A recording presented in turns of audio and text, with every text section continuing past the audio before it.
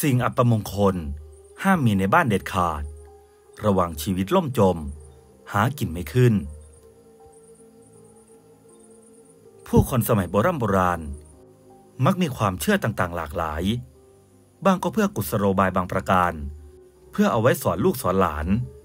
ของคนรุ่นผู้เฒ่าผู้แก่ที่ถือปฏิบัติมา และอีกทั้งอาจเพื่อเสริมมงคล และโชคลาภให้แก่ชีวิต สิ่งหนึ่งที่เราจะหยิบยกมาในวันนี้ คือเครื่องรางของขลัง เป็นความเชื่อที่มีมาแต่ช้านาน คนโบราณนิยมมีติดตัว เพื่อเป็นสิริมงคล และแน่นอนว่า มีสิ่งของบางอย่างที่ไม่ควรมีด้วยเช่นกัน หากบ้านไหนมี จะสร้างความชิบหายวายวอดให้กับบ้านหลังนั้น 1. ชูชก ชูชก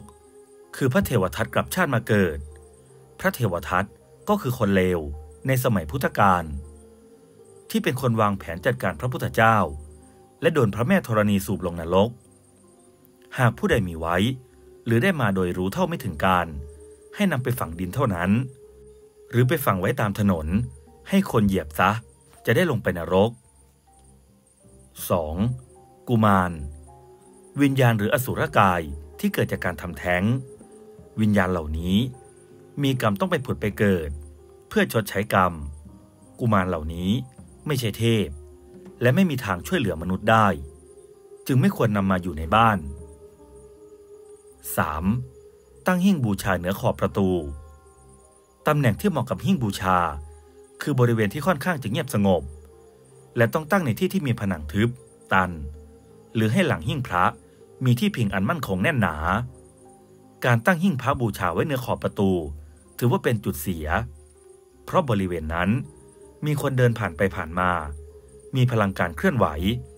จะส่งผลเสียต่อพลังศักดิ์สิทธิ์ทำให้ผู้ที่อาศัย มีความเสื่อมถอยมากกว่าความเจริญ